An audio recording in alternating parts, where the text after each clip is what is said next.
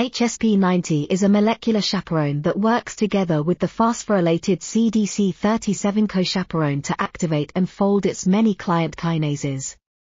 When these kinases are phosphorylated at certain regulatory sites, they can be released from HSP90's grip by the enzyme PP5.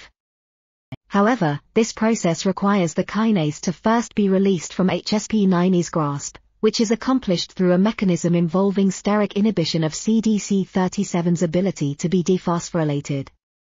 This mechanism was discovered using cryo-electron microscopy, which revealed the structure of HSP90, CDC37, and the kinase CRAF in complex.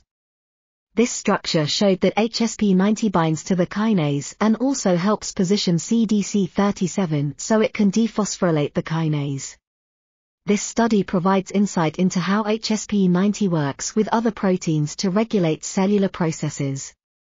This article was authored by Maru Jaime-Garza, Carlos A. Nowotny, Daniel Coutandin, and others. We are RTCL.TV, links in the description below.